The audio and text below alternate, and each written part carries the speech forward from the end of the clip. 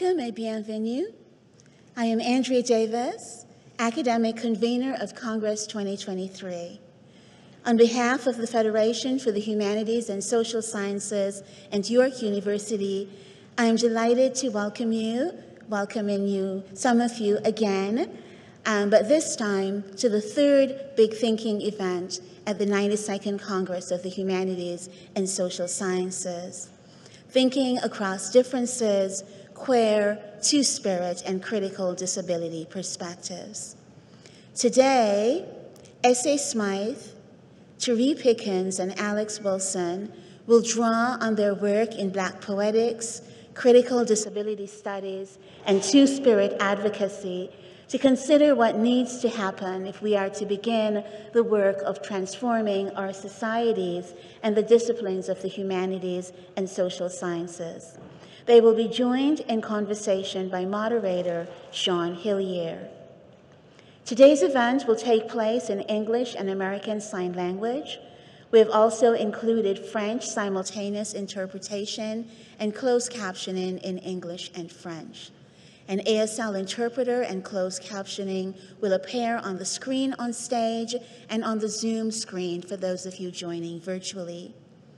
To access simultaneous interpretation, if you need it, make sure you've downloaded the Sennheiser Mobile Connect application on your device. Open the application and click on the blue QR code at the top of the screen.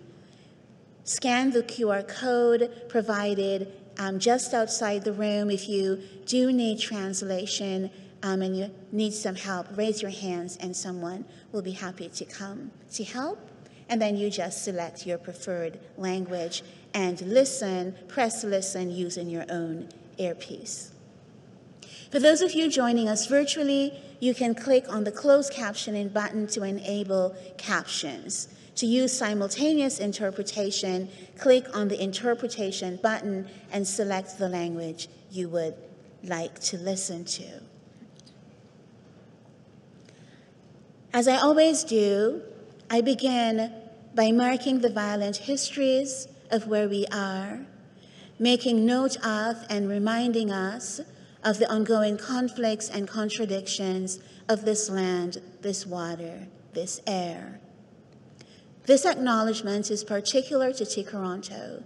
If you're joining us virtually, please take responsibility to acknowledge the traditional territory you are on and the current treaty holders. York University recognizes that many indigenous nations have long-standing relationships with the territories upon which York's campuses are located that precede the establishment of York. York University acknowledges its presence on the traditional territory of many indigenous nations. The area known as Tkaronto has been caretaken by the Anishinaabe Nation, the Haudenosaunee Confederacy, and the Huron-Wendat. It is now home to many First Nation, Inuit, and Métis communities. We acknowledge the current treaty holders, the Mississaugas of the Credit First Nation. This territory is subject of the Dish with One Spoon, Wampum Belt Covenant, an agreement to peaceably share and care for the Great Lakes region. Tkaronto's intersecting communities are comprised of those native to this land, indigenous peoples from other territories, as well as white settlers and those people who have come here by force or otherwise as a result of slavery, colonialism, imperialism, and ongoing wars. As a descendant of Africans enslaved in Jamaica, who were taken from their ancestral lands against their will, I am committed to what Tiffany King calls a notion of mutual care. And I recognize that a future for Black peoples is not possible without a future for Indigenous peoples by whose leave I live, walk on, and share this land. I acknowledge finally that these Americas are built on violence and erasure, and we bring these histories with us when we enter any room, any virtual space, and we must bring them always into view. With this knowledge of history, we've entered here again this afternoon in the hope of making a different world. The Big Thinking series at Congress brings together scholars and public figures to address some of the most pressing questions of our time. For Congress 2023, the series amplifies the theme of reckonings and reimaginings with conversations that honor Indigenous knowledges and cultures, Black and Indigenous knowledges and cultures, and center diverse voices and perspectives. You can participate in the conversation on social media using the hashtag Congressh, that is Congress with an H at the end. On behalf of the Federation and York University, I thank the series sponsors, the Social Sciences and Humanities Research Council, the Canada Foundation for Innovation, and Universities Canada for sponsoring this event. Thank you all so much for joining us today. Please welcome Annie Pilote, Dean, Faculty of Graduate and Postdoctoral Studies at the Université Laval, and Chair of the Board of Directors at the Federation for the Humanities and Social Sciences, who will introduce today's lecture.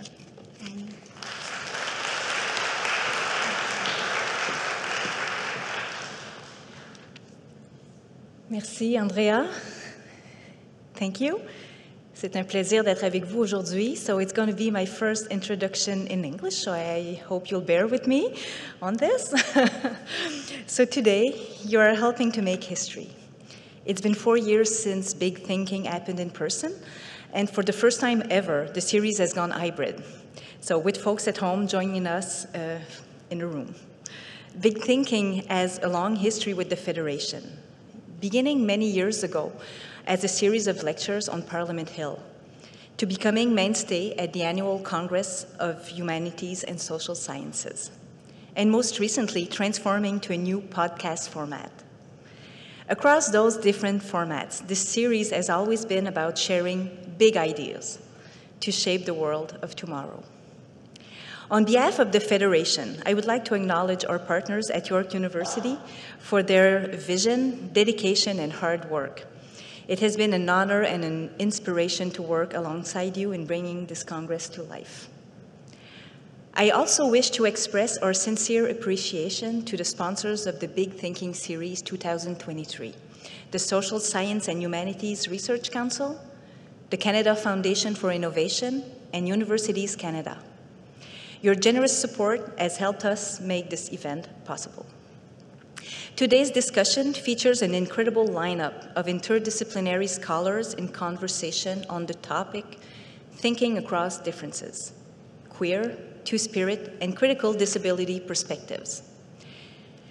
This dialogue is about bringing together different lines of thought, not only to understand what these unique perspective, perspectives offer, but also to see how together they can help imagine a better, more inclusive, and more just future.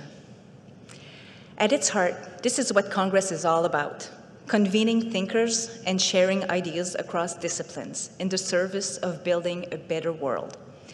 I hope you will find this challenging and inspiring, and that it sparks new conversations and connections for you at Congress.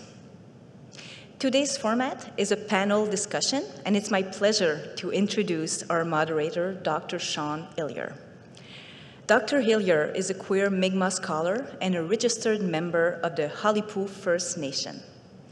He is Associate Professor and York Research Chair in Indigenous Health Policy and One Health in the Faculty of Health at York University. Dr. Hillier is also the Interim Director of the Center for Indigenous Knowledges and Languages and Special Advisor to the Dean of Health on Indigenous Resurgence. Merci d'avoir assisté à la causerie d'aujourd'hui. Please join me in welcoming Dr. Sean Hillier to the stage, who will introduce you to our panelists, Dr. Therí Pickens, Dr. S.A. Smythe, and Dr. Alex Wilson. Thank you very much.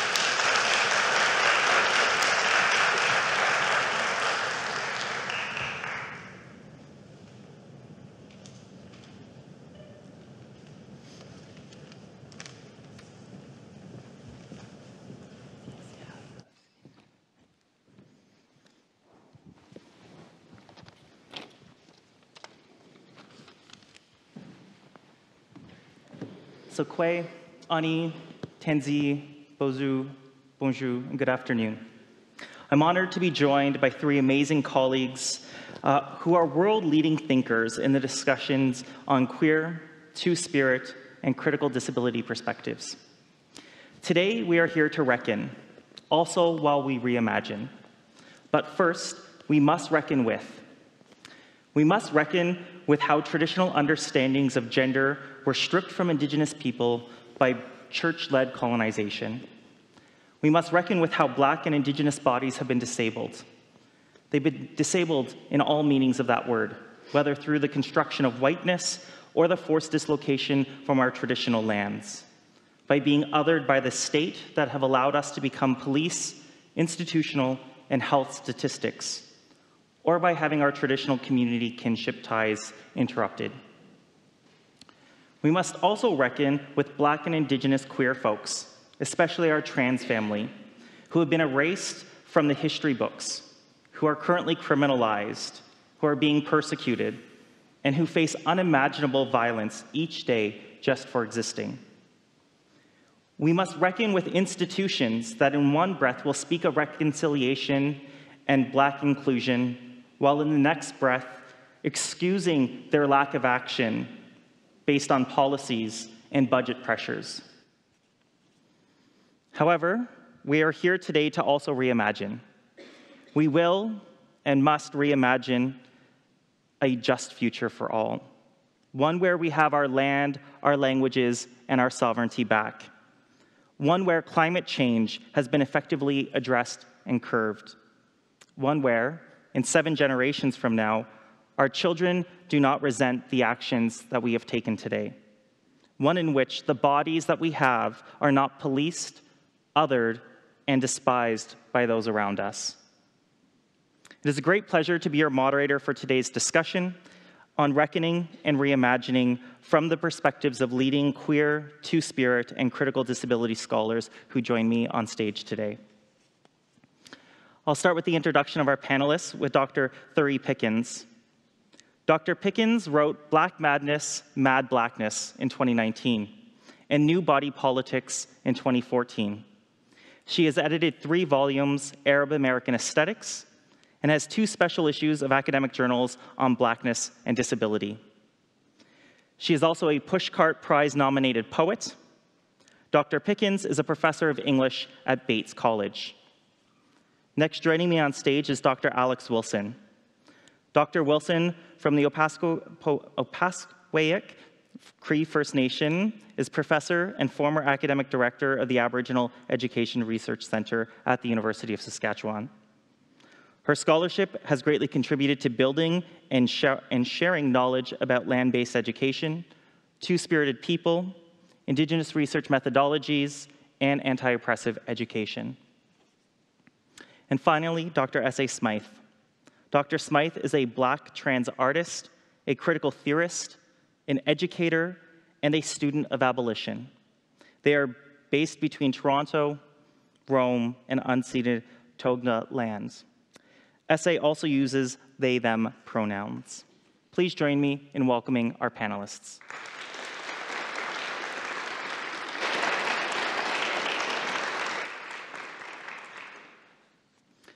To start our discussion today, I would like to ask each of the panelists to reflect on your own research, your location in the Academy, and on the lands in which you inhabit, and your experiences with queer, two-spirit, and or critical disability perspectives, and what possibilities, if at all, are there to work towards a just future.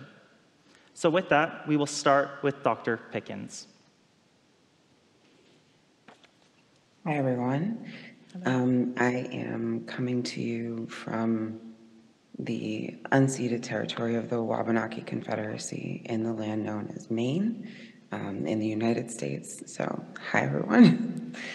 Um, I'm currently a full professor of English and soon to be chair of Africana uh, at Bates College. I think about my position in the academy as always a tenuous one. Um, I entered in the I entered into the academy at 16, um, deciding that I wanted to be a professor in my first year of college, And so it, this has been a kind of lifelong pursuit of knowledge, finally crystallizing in what I think are several questions for all of us to consider as we make our way through thinking about what it means to long for, uh, desire a more just future uh, that includes disability rather than erases it. Um, so I have a particularly profound distrust for linear narratives, um, narratives that rely on an understanding of time that is neatly delineated in seconds, minutes, hours, days uh, on a calendar that uh, some of us didn't all agree to. Um, and that distrust of linearity means that when I think about reckoning and reimagining, I am trying to reckon with the untold stories of the past, um, the smaller stories of the past, the easy narratives that are actually much more complicated, and trying to imagine what those might look like uh, in a creative space, um, in a space that is attuned to justice. And so, to that end, I like to take us back to the to March 2020. Um, I hope, you know, for anyone who is having a particularly traumatic experience right now, um, just thinking about that uh, that time, uh, I hope that you can kind of breathe through it. Um, I remember that um, March 13th was a Friday. Um, that feels very clear to me um, because the the time that I was in was one of looking forward to a weekend. Um, my uh, work wasn't paused uh, because I was on sabbatical, so I was in this sort of suspended time period. And one of the stories that I heard was Breonna Taylor's story, and I tracked the story because she seemed like an avatar for me. Um, and I think there was something very difficult about watching the entire world react to George Floyd and erase this Black woman, um, erase other Black women, um, erase trans folks, erase all of the violence that had been done. I was sort of wondering, um, as horrible as George Floyd's death was, was wondering why it was that that was the touchstone that it was okay for other bodies, but not for this one.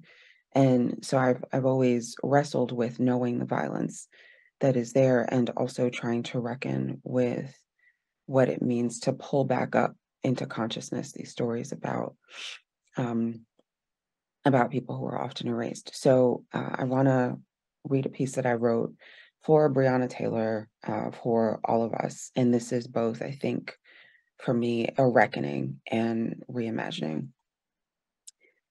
On March 12th, 2020, Breonna Taylor awakened after working four overnight shifts at the local ER.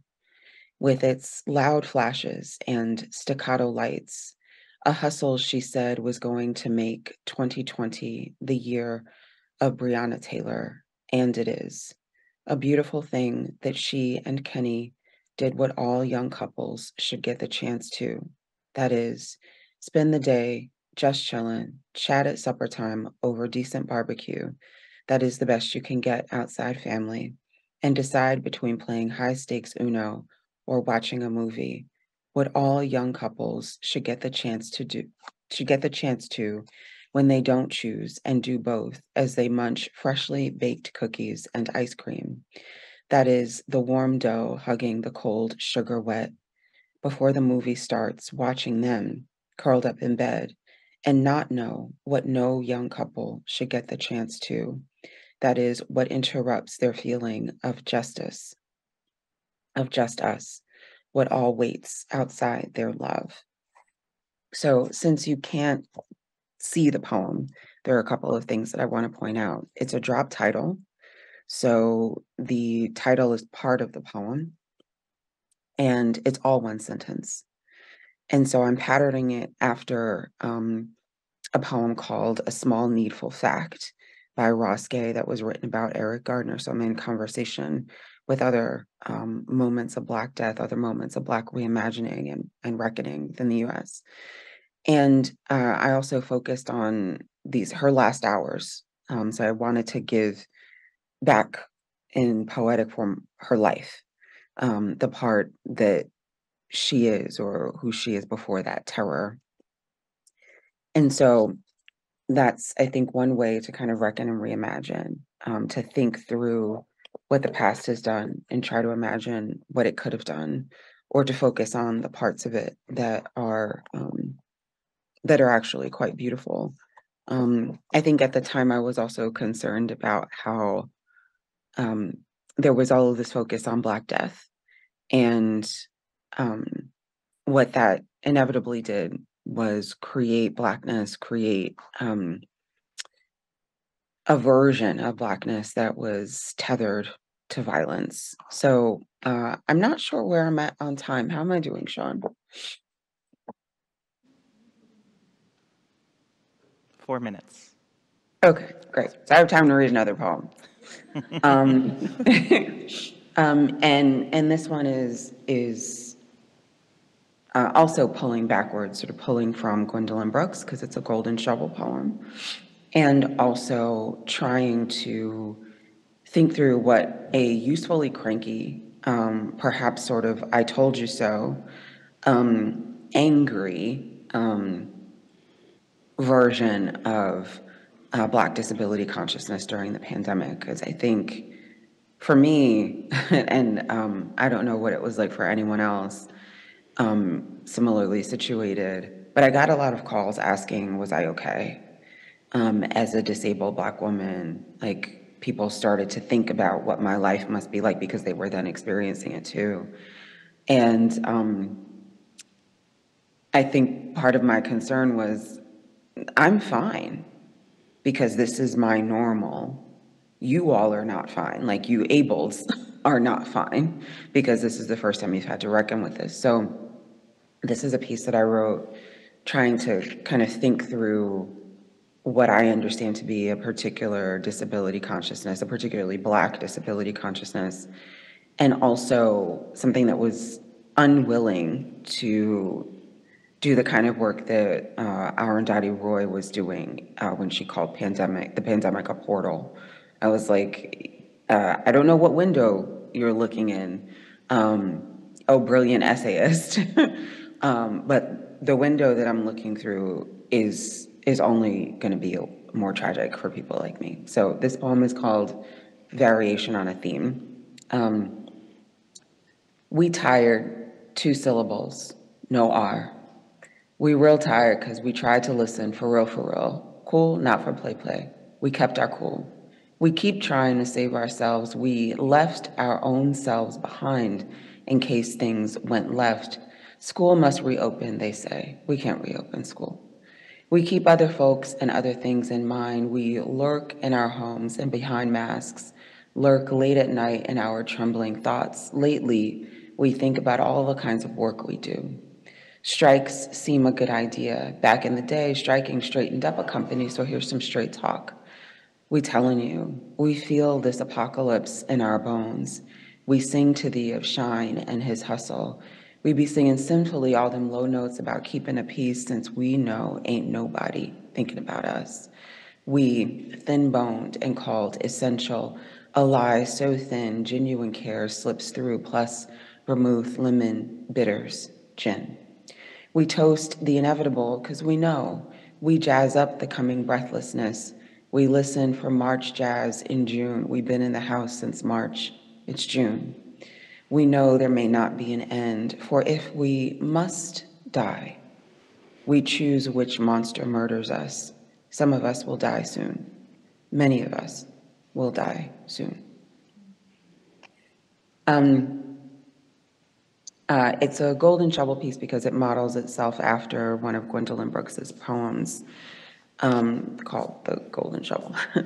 and so I think one of the things I was trying to do was give people a sense of uh, what it might mean to both open up uh, Gwendolyn Brooks's work as well as to open up her powers of observation from a particularly Black disability perspective, a Black disabled perspective.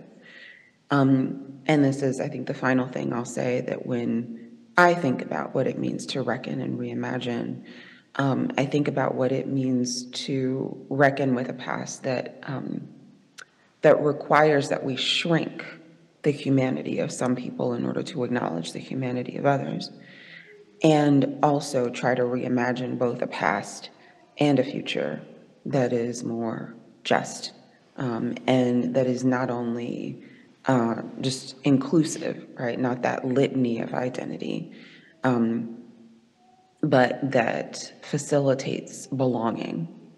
So. Thank you so much, Dr. Pickens, for your opening words.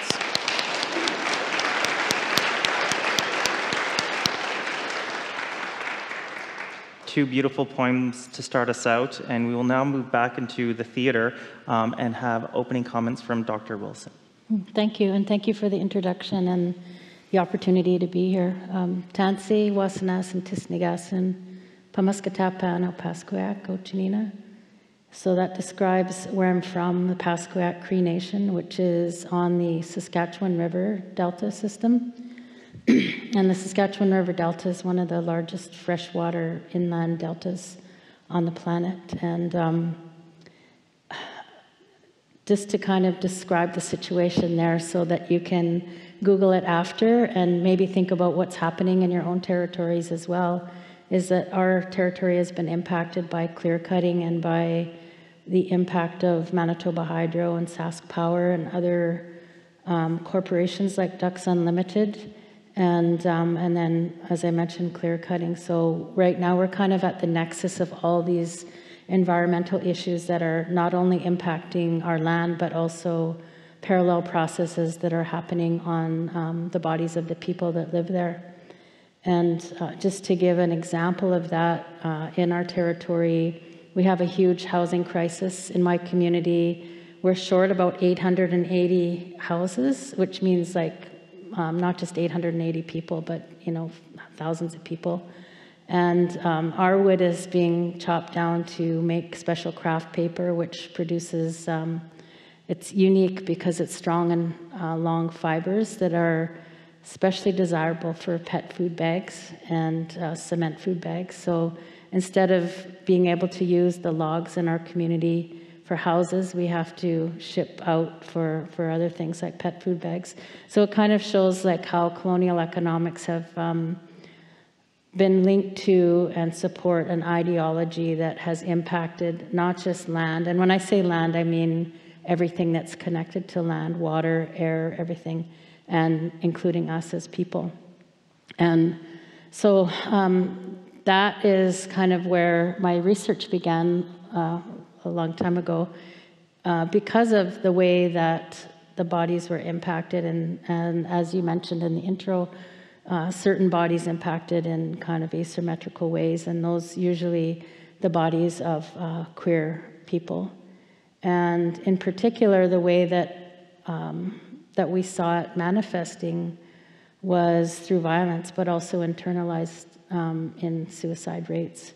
So that's what first compelled me to really look at, um, like, why is this happening over and over again? And, um, you know, so started looking at, at uh, how researchers were describing gay and lesbian indigenous people. And that's the terminology that was used at the time.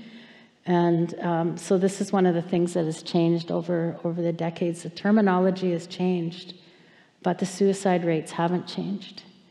Um, so there's, there's a bit of movement, but then there's also something that's happening that um, keeps us in this kind of cycle that, that is um, manifesting over and over again. And we're seeing it right now with the banning of rainbow flags, and in Saskatchewan, um, banning children from going into the rainbow tent at a children's festival, and um, you know, increased violence against trans and queer people. Um, so, because of the kind of um, time and place that we're at right now, um, it really necessitates an understanding of how we connect with one another, but also with the planet. And um, we know that the severing of knowledge or the severing of land-based knowledge uh, known as epistemicide um, has really impacted us as Indigenous people. Uh, but as um, Rebecca Sockbeson, who's a Penobscot scholar, says, the epistemicide is not complete.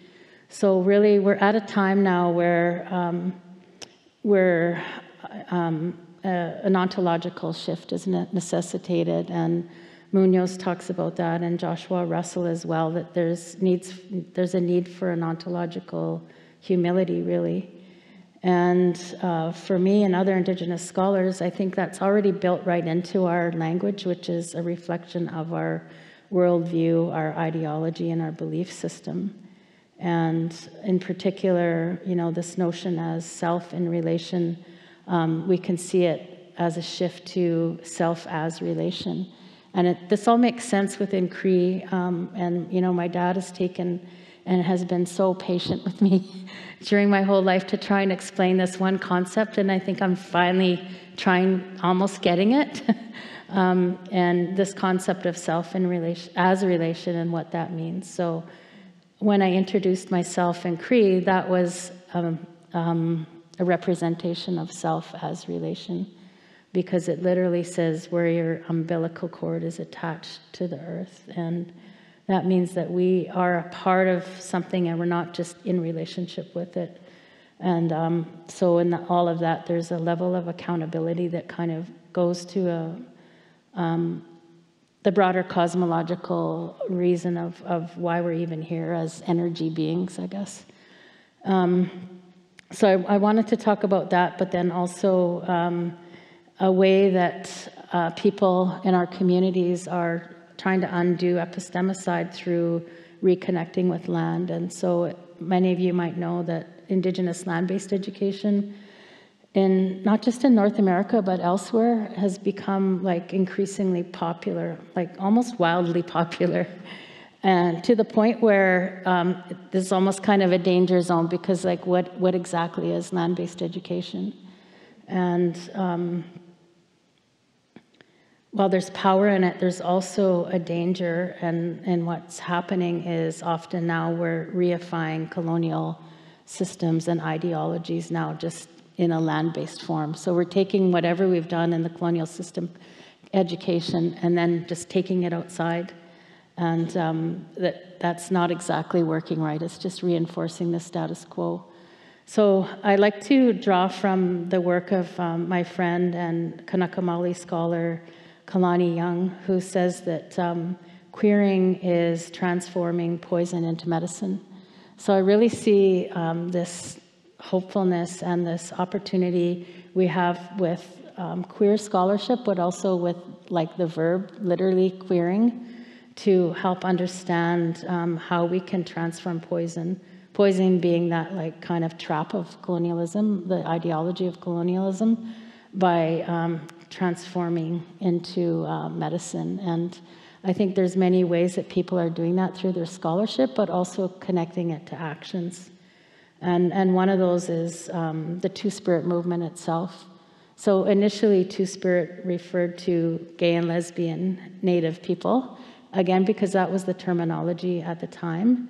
And um, the term has, has shifted over time as our, as our um, access to and also our ability to be heard from our own Indigenous languages and understandings of, of not just gender, but also sexual diversity, and then also connection to land. Um, so that's that's what the term is kind of meaning today, in, in my understanding, anyway.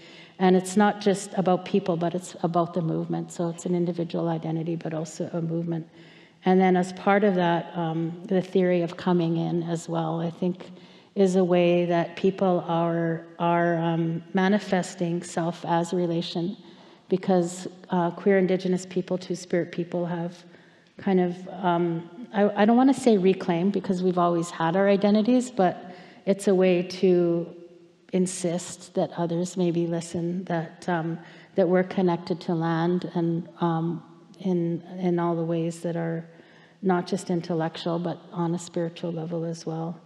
And so coming in is a way to um, verbalize or create community or relations in a way that is creating and life giving rather than life taking. So, Keenan Askman. Thank you uh, for those opening comments, Dr. Wilson.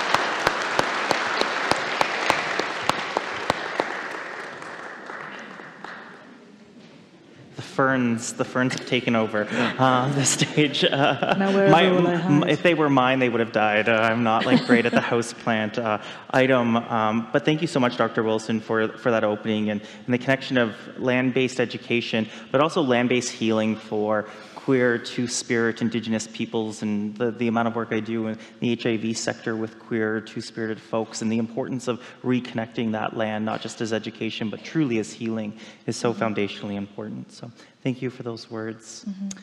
We'll now move over to Dr. Smythe for your opening comments.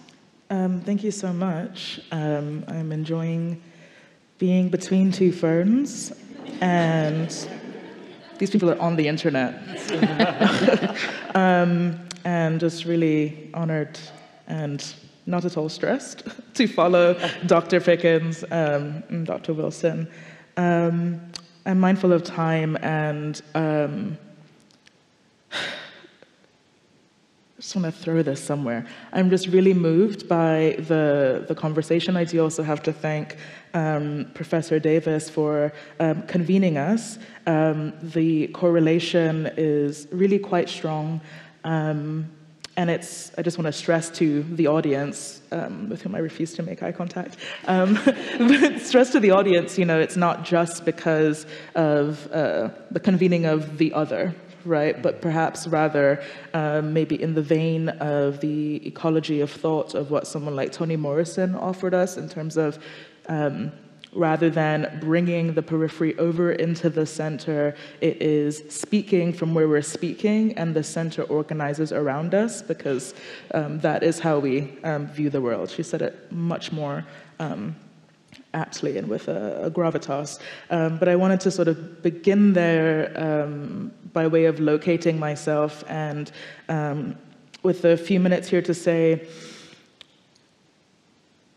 something maybe quite literal, which is locating myself physically on this land, you know, moving from Dr. Pickens, talking about the we, which I want to come back to, um, thinking about, uh, I mean, just the various cosmologies you've offered us just now, um, and thinking about queering as a verb, which has me think about language and languaging.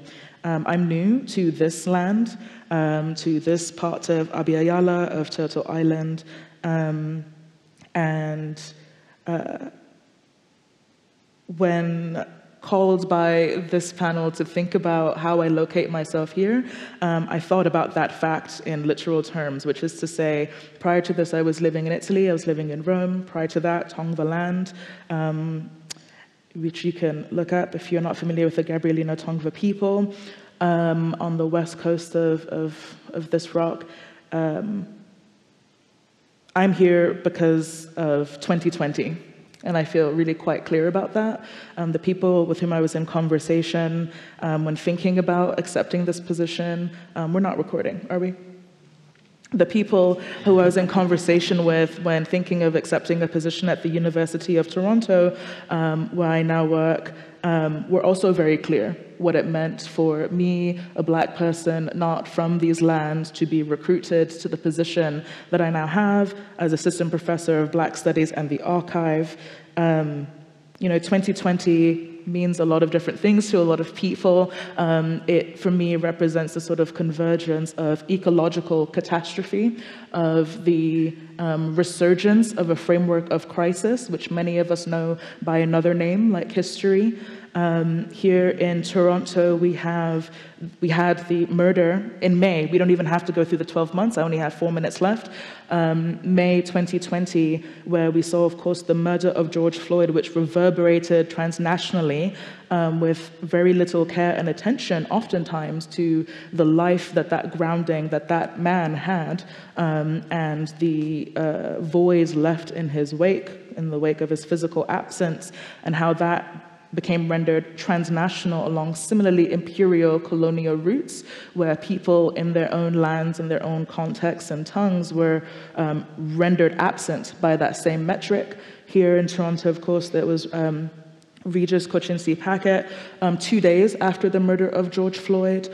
Um, I, I believe 11 or 12 days prior to that um, was the discovery of 216, um, the remains of 216 people, um, uh, native peoples from this land who were discovered um, possibly murdered, rendered missing, rendered absent from time. Um, all of these things happened, as we know, the ongoing global pandemic.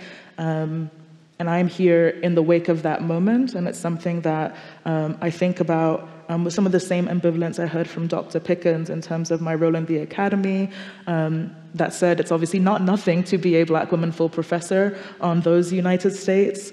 Um, as well as here, you know, people talk to me about um, what it meant, that same exporting gesture that we saw with George Floyd's life and um, his murder and uh, its afterlives and the ongoing afterlives of coloniality and other iterations of genocides that we asymmetrically experience, we know what it means that um, people are saying Sandra Bland and George Floyd and Breonna Taylor in places like Italy or Tangier or Uganda or London, um, the United Kingdom, uh, instead of saying the names that we also know to hold on our tongues.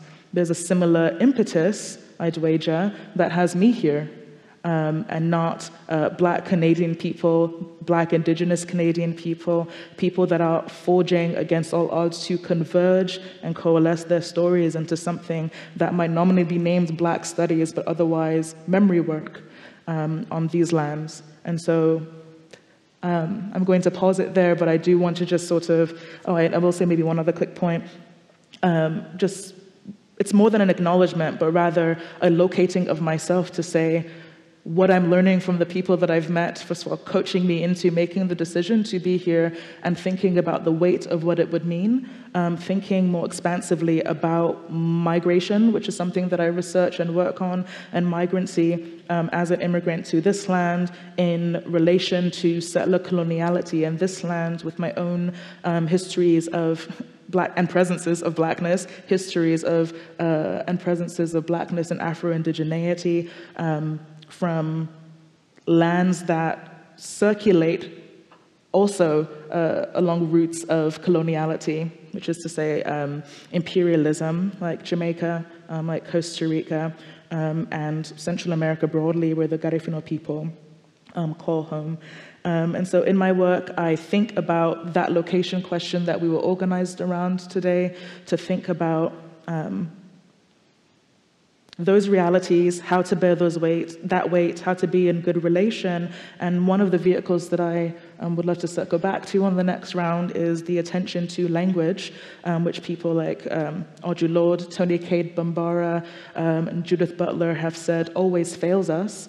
Um, but we are also then still yearning and organizing ourselves into um, not new tongues, not novel tongues, maybe to reference Dionne Brand for a moment, um, but rather, and I think this is something that you were speaking of too, not, there's not a newness in our approach, but rather a, a, reorientation, which I agree is not the same as a reclamation, but acknowledging what once was, and that the very thing that I started off talking about as crisis, um, history, how it has warped and rearticulated us, we can through another kind of languaging, another kind of relationality, another kind of fellowship, um, reordain those networks um, that have been purposed against us.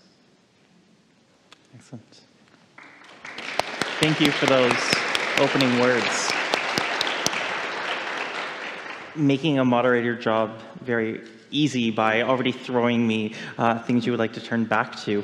Um, but I really want to keep the discussion uh, going, and I, I, have lots. I have lots of questions prepared on all my cue cards here. But in, in, the idea of the big thinking format and to be in conversation with, I'd like to pass it back now to the panelists to give you all a chance to comment and engage with one another with what you've said through these introductory remarks before we move in to some of my formal questions. So if anybody would like to start us off.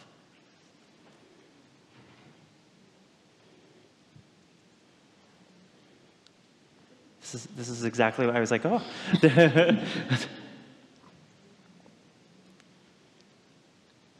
Such great questions. No? Okay, perfect. So we're going to jump in. They, they already know what's coming. Perfect. So we're going to move into uh, the first. Did you want to, Dr. Pickens, did you want to? Yeah, I was going to say something belatedly. Um, I think that part of what's offered here um, is an entirely new way of thinking about relation for some people. Um, and I'm, I'm remembering what it is like to kind of humble oneself. I, um, what, um, what was called kind of ontological humility, and what it means to recognize that the thing you call your city um, may not actually be its name, to recognize that the, um, the things that, that you've taken for granted, like the, you know, um, I guess pet food bags, um, are also uh, part of someone, someone else's story in a way that, that isn't necessarily um, just or um, and that and that is violent. Um, and I appreciate the kind of alternate names that were given to history and Black Studies, memory work, and um, I forget what the one was for history, but um, this this idea that what we're calling something um, can reorient us, but also has a limited degree of power, um, especially if the circumstance itself doesn't change and the language is the only thing that changes.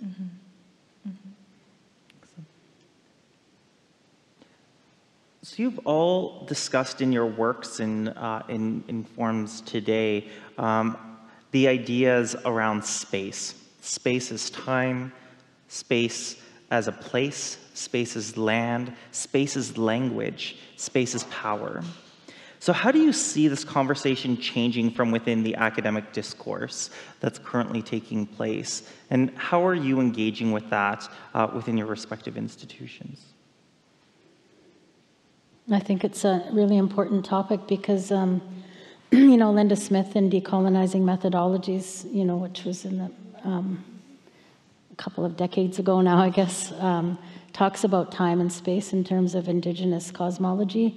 And I, it's a, just a little brief section in that book, but it's so important because I think in our own languages and understandings and worldviews, um, um, you know, Dr. Pickens talked about linear time. Uh, that has been so transformed and such a part of institutional time uh, that it's really hard to to switch. Um, but I, I, honestly do think that it's entirely possible to center um, indigenous knowledge and to center, like to invert hegemony, right? And I think that's what we're trying to do in these panels is centering Black and Indigenous knowledge systems. And part of that has to be about time and space and architecture and all those things that, that involve time and space. And um, like the, you know, from sociology, institutional time compared to real time, you know, that's one of the biggest things right now for us coming out of like the pandemic and that, that time, that era of linear time that completely shifted everything, right? Um, so I think some of the answers are in indigenous uh, notions of time and space, and um, that's what I'm trying to like prod my dad for now too. I'll keep you posted. I think we're all very much looking forward to that. Mm-hmm. Um, I go big or go home. I the, the the thing that came to mind Thank you for inviting me to this Congress. Um, the thing that came to mind, you know, what, I mean, I appreciate the question because it really gave me a chance to like attend to it and then reflect, um, really with my co-panelists. And um, just going back again to Dr. Pickens, talking about, I'm saying ambivalence, but that's not how, that's not the word she used. Um, but this sort of feeling of, you know, being a full professor and also like the work that needs to be done and the other kinds of work and the mediums that um, she really grounded us with here. I'm um, an assistant professor, so my time in the institution is at the, the base rung um, of a tenure stream towards then tenure, towards full, towards that moment when I could be Angela Bassett with the car in the back. And there's something that I really, there's something about that um, that um, I I'm coming closer and closer to sort of rejecting outright because it already preconditioned a rejection of me and all of my communities and things that I hold dear. Um, and so I want to just put that on the table, especially if there are any grad students or younger folk watching and, and attending to this moment. The way that institutions have us doing time, and I use that term advisedly, is particularly a reordering of the actual thing, I can't say time there, um, that is needed for us to take time to be in right relations with one another. Right, the way that things are speeding up is really just a parallel mirroring. It's a one-to-one. It's a circle on a Venn diagram of um, what needs to be done, which is that we take time, we slow down, um, and um, and that's not the same thing, I think, when you're talking about, you know, the self and rest. It's not, you know, the, the not bastardize, the, the ruination of Audre Lorde's self-care, but actually acknowledging the self as a communal apparatus and saying, who do I need to be in relation? How long will it take? Um, and I think about that in spatial terms as well with my work, for example, in theorizing and organizing with uh, black people, people of African descent, um, and uh, indigenous people in a European context, or Roma and Sinti travelers um, in the Mediterranean, thinking blackness in the Mediterranean, where um, Sometimes languages aren't represented, and you need to take time to understand how to communicate. You need to sort of take time to think about um, what my dear friend Ashon Crawley has talked about as otherwise possibility and different modes of relation. I realize I might be speaking quite quickly.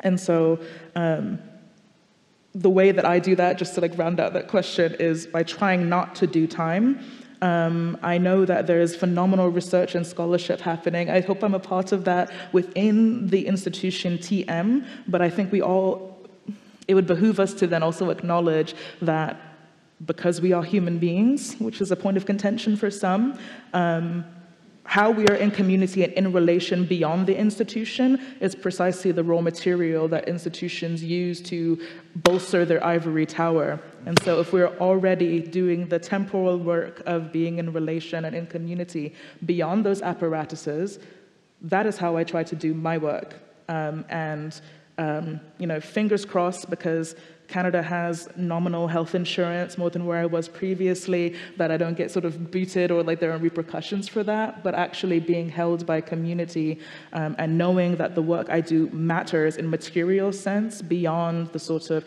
checks and balances of how many years and how many courses um, do I go along through um, is the way that I continue to locate myself in time to make sure that you know, my ancestors are proud and that my mother, um, who has a high school degree, knows what it is that I'm doing, even if she doesn't know all the words. Thank you. Yeah, just to add to that, I think about space pretty virtually. Um, I think about the fact that my space is shrunken, um, not just by virtue of where I can go physically because of disability, but also where I feel welcome ideologically because of said disability. Um, and also, you know, because of the other facets of my identity. Um, I think ambivalent is definitely one of the words I'd use. Cranky, irritated. Um, I read the book. Uh, just some of the other ones. Um, I think I oscillate between feeling like the academy has everything to do with the rest of the world because we traffic in the space of ideas, um, and also the same personalities, systems that you find in other professions, you also find in the academy. Um, and then also, I think about the way that I have been pulled from um, the home that I know in New Jersey to be at UCLA on Tongva land um, across Turtle Island, and then also pulled again back across, but also north. Um, I don't have family where I'm at. I have no community to um, to hold me in the way that uh, in the way that I think it, kind of any person needs.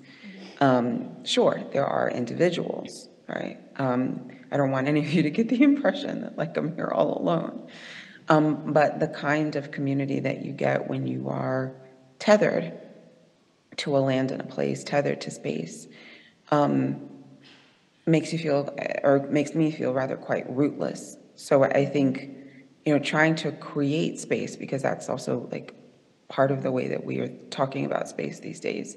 Sometimes that space is virtual, um, so you know, kind of existing in Zoom uh, for um, for me at least the foreseeable future. Um, and then sometimes the creation of that space is the um, the modes and methods by which we use language and um, things like invitation and hospitality in a space to allow for someone to, to just enter. Um, I think the, the, the bothersome nature of lacking space is that by the time you're actually in a space, you've had to go through a whole bunch of mental and sometimes physical gymnastics to get there.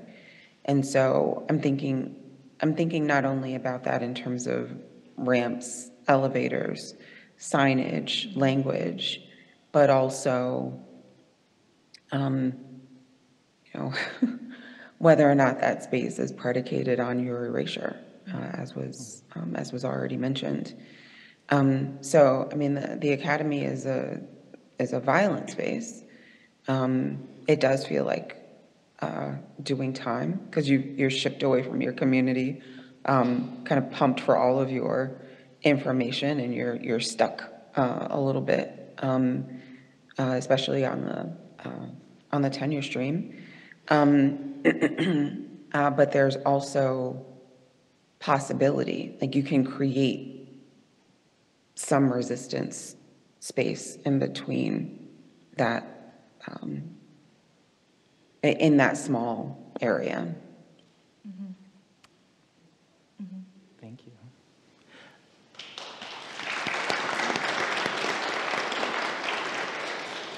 So unfortunately, our time is almost complete. Uh, however, I would like to take the last moments and uh, ask if Dr. Smythe would be willing to share a poem that they have uh, with us before I invite Dr. Davis back. to the stage. I thought I thought you were letting me out when you said that we were at time. Um, wonderful. Yes. so I wrote something, uh, and if uh, you don't like it, I can't see you. So. Um, I'm also super honored because Dr. Pickens started us off with some phenomenal poetry. So this is, um, it has no name, but let's give it uh, The Seasons, a Litany. That's the title. Um, and it's uh, of, uh, it won't take too long to read, and it's really um, a sort of meditation. I didn't really get to speak so deeply because I thought Dr. Pickens really said it all in practice about, um, I think, what we've all been talking about in terms of Black and Indigenous transformation, disability, transness, which is something I, I think really deeply about, um, and an attention to language. One thing, um, as a quick aside, is because I just wanted to make sure I'm on the stage. And so while people can hear my voice, um, an attention to language um, means uh, one concrete example is to think about how things are counted and accounted for, and whether we think that's the same thing as accountability. Uh, maybe one quick thing that we can do in the future it's like when you say the word the first time, you see it everywhere. Think about when you hear the phrase bodies, black bodies, native bodies. Um, note when that happens and when we say that instead of black people, native people. And so, what did I call it? Seasons, a litany. What do you want? A litany? We have nothing but one steady beam over Coast Guard's boats, seven and 20 nations, and 16 more besides. That's three and 40 ships, if you're following all turned away, antagonizing sundials, dismissing three and 40 calls on their muted alarm phones, careening towards one last gasp of a binary algorithm to one last new normal. Zero for life, one for death. 43 dropped anchors safely behind their 43 invisible lines. We've learned their count, you see. Four vessels, twelve score and fourteen bodies, perhaps men, perhaps women and younger men, smaller women, and even smaller men and women, smaller still. And no one, not one person to give a damn how much hotter it's getting. One degree by one degree by one. How many miles they've been walking or crawling or suckling in the case of the smaller men. The wee small men still wet behind the ears who would not so much remember this day as become it. Two, there are four parts, I didn't mention that. Meanwhile, across the same sea, bracing against the nerve of four and twenty ships, 12 and 20 canoes, 14 tons of mud and birch, 5 million sets of hallowed bones set with deer hide, 1,800 kiloliters of oil in three fifths as many barrels, 60 guilders of beads and jewels, 11 treaties, then seven, then three and 10 more, or nine, were trained to lose count. After two and 40 months, the coronavirus becomes a US citizen, changes the subject to avoid being the subject, begs you not to shoot, assimilates its leaden lungs alongside lead lunches, lead bloodstreams, lead water, lead walls buckling under lead bound books, spits up mountains of sacred rock, gathers up the hem of its thoughts and prayers to pledge allegiance on a stack of piss poor Hollywood signs and flags and Bible verses is today years old before realizing how to protect itself, crosses the street when looking at black people, compliments another one's accent to shed the bias in its skin. Three, we did not become the instant we left home, heaving tools to forge our future in the world. A cleaver smooth as water, a knife quick as wit, an oven cast in night. When our fathers first left our house, we studied those tools and asked, Dare we make a home with these? How could we, the left behind, learn how to braise and chop and cut? The same way we number or name all the scents our hands already knew. We've been, will be. In the clearing, our mothers taught us the worth of a word so not just anyone could wander through our doors. We've always known when to speak, what to do, if not how to language, how to body the score. Our songs are sharp and storied and dark, the rivers spilling off our already liquid tongues into an ocean rising underneath us, our vessels, and any prison house that tries to keep us from our own. Four, I've come to find that my body has already wrought me into a man who questions, has forced me into the question, has forged me into the question, and fastened the question against the man, even the smaller men. We call them children here. To hell with the count. We have us, a harness geometry, that is to say, a measurement of the earth beyond the earth. We witness daily the small, unbridled whispers of possibility and embers of that liberatory joy. Thank you. Yeah.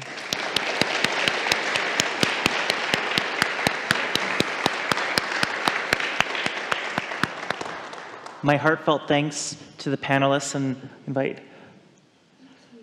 closing remarks. Thank you so much um, to our panelists, um, S.A. Smythe, Therí Pickens, Alex Wilson, and our moderator, Sean Hillier, for that beautiful and provocative conversation. I want to thank again our sponsors, the Social Sciences and Humanities Research Council, the Canada Foundation for Innovation, and Universities Canada for their support. If you would like to revisit the conversation today, the video will be available on the Congress virtual platform in the coming days until June 30. Today's lecture is the third of the Big Thinking events at Congress, the final Big Thinking lecture, Reimagining Black Futures by the Right Honorable Michaëlle Jean, will take place tomorrow at the same time um, and the same place. Please continue the conversation in your scholarly associations, in the social tent, and on your campuses. If you're Indigenous, Black, or racialized and need a space to reflect, we have gathering spaces for Indigenous scholars in the Center for Indigenous Student Services and the Center for Indigenous Knowledges and Languages in York Lanes for Black scholars in the Harriet Tubman Institute, also in York Lanes, and for Black, Indigenous people of color scholars in the Center for Research on Latin America and the Caribbean on the eighth floor of the Kaneff Tower. Please continue to participate in the conversation on social media using the hashtag Congressh, that is Congress with an H at the end. We're also inviting you to fill out a short survey on your experience at today's lecture. Using your mobile device, you can scan the QR code on the screen behind me or on the signs posted at the door. Thank you all so much for joining us today. Please enjoy the rest of your time at Congress. Merci, miigwech.